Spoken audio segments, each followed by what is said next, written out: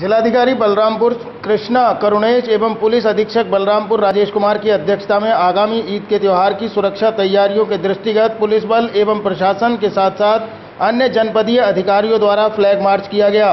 Flag march निर्धारित समय से वीर विनय चौराहा से प्रस्थान करके चौक, बड़ा पुल, सिटी पैलेस, मेजर चौराहा, चौक गर्ल्स कॉलेज होते हुए बलुहा चौकी, नहर बालागंज, भगवतीगंज होते हुए वीर विनय चौराहे से बहराइच रोड स्थित पीपल तिराहा पुलिस चौकी से होते हुए धूशाह तक फ्लैग मार्च किया गया। इस दौरान जिलाधिकारी ने लोगों से ईद के त्यौहार को सकुशल संपन्न कराने की अपील की। पुलिस अधीक्षक ने कहा कि ईद को सकुशल एवं शांतिपूर्ण ढंग से मनाने के लिए बलरामपुर पुलिस प्रतिबद्ध है। इस दौरान अपर पुलिस अधीक्षक शैलेंद्र कुमार ने आपसी द्वेष पैदा करने वालों पर नज़र रखने की बात कही। इस दौरान अपर जिलाधिकारी, क्षेत्राधिकारी नगर, प्रभारी निरीक्षक कोतवाली नगर, प्रभारी निरीक्षक कोतवाली देहात तथा भारी संख्या में पुलिस एवं अधिकारीगण मौजूद रहे।